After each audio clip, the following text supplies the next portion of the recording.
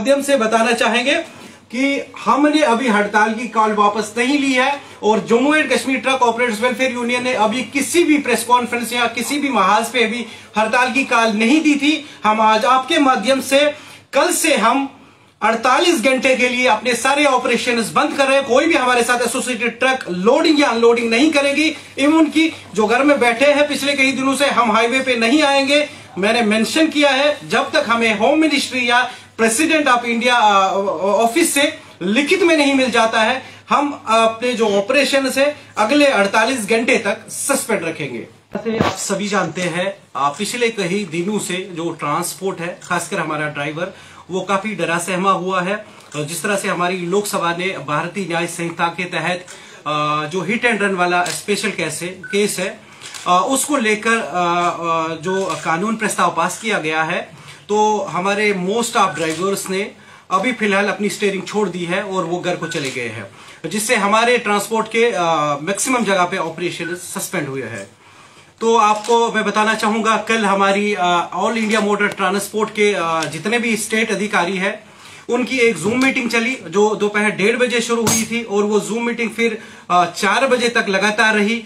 उसमें कम से कम सौ के करीब हमारे स्टेट से जो रिप्रेजेंटेटिव ऑल इंडिया में है स्टेट से तो 95 परसेंट के करीब हमारे जो रिप्रेजेंटेटिव है, उन्होंने हड़ताल का सुझाव दिया था। लेकिन शाम गए हमारे ऑल इंडिया मोटर ट्रांसपोर्ट के जो प्रेसिडेंट है, श्री अमृतलाल मदान जी उन्होंने एक प्रेस नोट जारी किया, जिसमें उन्होंने कहा कि सरकार ने हमें आश्वासन दिया है कि इस कानून को लागू नहीं किया जाएगा। लेट मी क्लियर फ़र्स्ट ये जो कानून है ये जो भारतीय न्याय संहिता इंट्रोड्यूस हुआ है ये बिल नंबर 200 बिल नंबर 121 2023 की जो लोकसभा में हुई है उसमें इसको इंट्रोड्यूस किया गया है। ये ये चैप्टर सिक्स में आता है ऑफेंसेस में, और ये ऑफेंसेस ऐसे हैं जिससे ह्यूमन बॉडी इफ़ेक्ट होती है। तो इक्कीस तारीख को लोकसभा में ये कानून पास किया गया। 25 तारीख को हमारी ऑनरेबल प्रेसिडेंट ने इसको सेंट दिया, इसको ग्रीन सिग्नल दिया।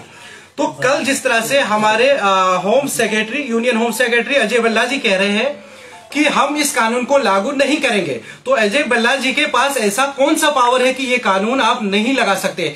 लोकसभा ने पास किया प्रेसिडेंट का एसेंट मिल गया है दैट मीन कानून तो पास हो गया है। अब सिर्फ़ वेट होना है कि सरकार इसको इम्प्लीमेंटेशन डेट कब देगी। उसके बाद अगर इस कानून को रिवील रिपील करना है तो आपको एक बार फिर लोकसभा का सत्र बुलाना पड़ेगा या प्रेसिडेंट के पास ऐसे पावर्स है कि प्रेसिडेंट इस कानून को खारिज कर सकते हैं। जिस तरह से कल एआईएमटीसी की प्रेस कॉन्फ्रेंस हुई हम उससे बड़े आहत है।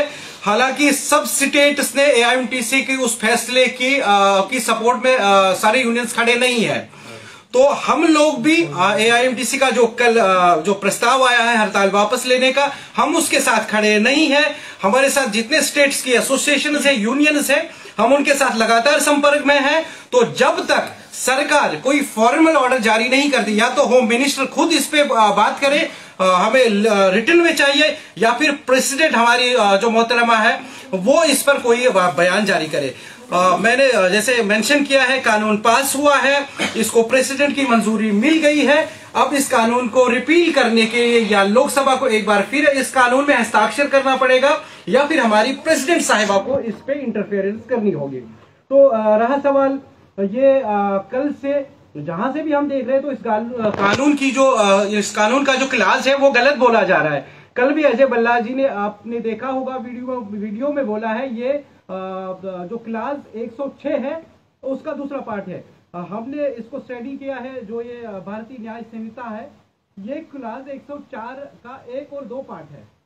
वो ये क्लास 106 जो बोल रहे हैं, क्लास 106 जो है वो है सुसाइड को लेकर।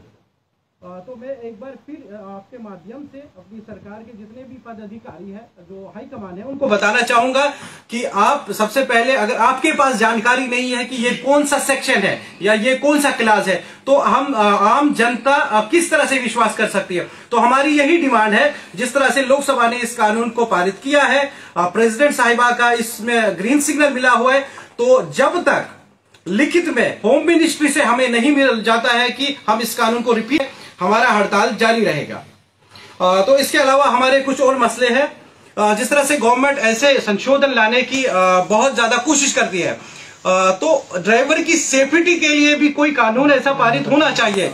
तो हम बड़े आहत हैं इस फैसले से और हम आपकी माध्यम से बताना चाहेंगे।